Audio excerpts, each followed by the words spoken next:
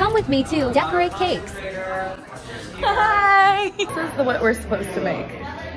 Time to pick out my design. Oh my god, so pretty. Going to start with my brand color, Like lavender. a lavender. What's your inspiration? My logo. Oh, hey, Marketing. gotta do it. I actually have a tattoo. I got like one of those ephemeral ones. Yeah. But it's been a year and a half overdue to disappear. I'm just gonna have like a faint version of my fucking logo on my body. the rest of That's so funny. Lavender coming along well.